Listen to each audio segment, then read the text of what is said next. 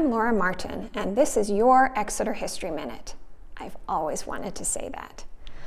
We thought we'd shake things up a bit, so today I'm presenting and Barbara will be running the equipment. It was actually Laura's idea back in the spring of 2012 to film short bits of Exeter's history. The Exeter Historical Society's mission is to serve as the stewards of Exeter's history. We are absolutely dedicated to that task, but it does seem like sometimes we answer the same questions over and over and over.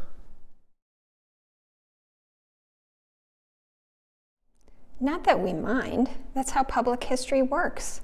We made a rough list of the most common topics everyone seemed interested in, like Exeter schools, the sled dog race,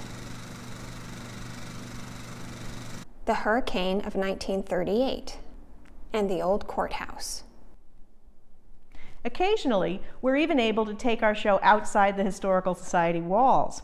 Our first remote episode took place in the town vault where we were able to film some of the oldest records in town dating back to 1638. We trekked into the PEA woods to explain the lonely gravesite of Susanna Holman Brown. I played tourist at Loch Ness in Scotland and knew I had to talk about the few early arrivals to Exeter who came as Scottish prisoners of war. And when my husband announced he had a conference in Phoenix, Arizona, well, we had to visit the Hall of Flame Fire Museum to see Exeter's Hunneman engine on display. We filmed at Swasey Parkway, the Powder House. And when we were celebrating its 100th anniversary, the bandstand in Exeter's downtown. Designed by architect Henry Bacon, who also designed the Lincoln Memorial, it stands in the town square across the street from Town Hall, where, of course, Abraham Lincoln famously spoke in 1860. We also had a lot of fun with an unofficial series we called Hey, What is That Thing? We told you about the town pound, the Creator's Star on the Baptist Church, the mysterious initials carved onto a curbstone, the Whitefield Monument on Front Street. None of these programs are created just by us. We've had a few guest stars. Pam Jedham recreated her scene from the Da Vinci Code. Here's the real Pam Jedham playing the part. Heavens, yes, what a character. Fanatical. Every time he comes in, it's always the same search string. Grail, Grail, Grail. I swear that man will die before he gives up on that quest. Vicki Lucas found her Lithuanian relatives. Rosie had the best day of her life in the town pound. Columbus was a bit skeptical but an awfully good sport when we needed him to help us explain Exeter's dog laws. Mike Nickerson and Alice On were on hand to help us with filming when Laura couldn't be there. You may have spotted this thing popping up in episodes. Do you know when it first appeared? I hope this is whetting your appetite. There are 99 pieces of Exeter history just waiting to be watched.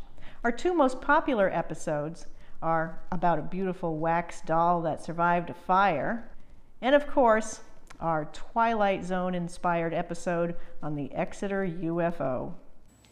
In the dark, early morning hours of September 3, 1965, several people, including two police officers, saw unexplained red lights over and around Exeter. I'm Barbara Rimkunas, and this is your Exeter History Minute, the Exeter UFO. One of our favorites was an episode on bird's eye maps that we filmed just when Game of Thrones was airing its finale. There's a fun inside joke built into it that no one caught. Maybe you can spot it. You could buy the full-size map for $2 or spend just 25 cents for a small version to send to your relatives.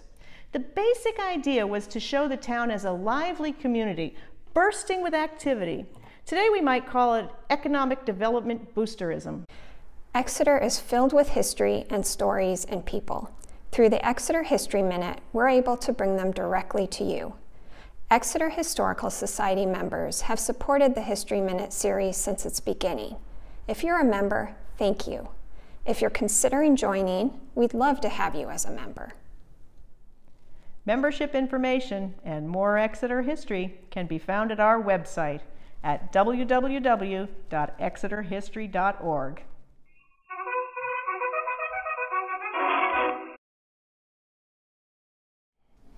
Hey, Barbara, Yeah, Laura?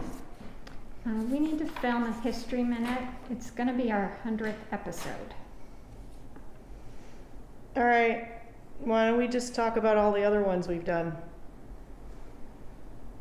Okay, sounds good.